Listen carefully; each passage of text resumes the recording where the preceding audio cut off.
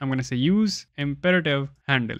What this will do, it will give the reference of the child component to the parent component, right? So what I'll do, I'm going to create a ref over here. So I'll say use ref and I'm going to say const fancy input ref, right? I'm going to take this ref and I'm going to pass it just like this. Now this is just like getting a reference to a button or a div or whatever, right? Using ref.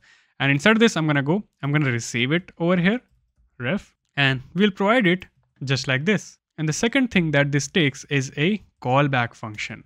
Inside this, I'm going to return focus and clear functions, right? Now, when we go back to the parent component, this ref now has the powers to, you know, access both of these functions. So over here, I'm going to say on click, and I'm going to trigger this function with fancy input ref dot current dot focus, right? Similarly, I can take this input ref and call it over here and I'm going to say clear. Let's check it out. If I click on focus, you can see we can focus on this. And if I type anything and click on clear, yep, it has cleared it out.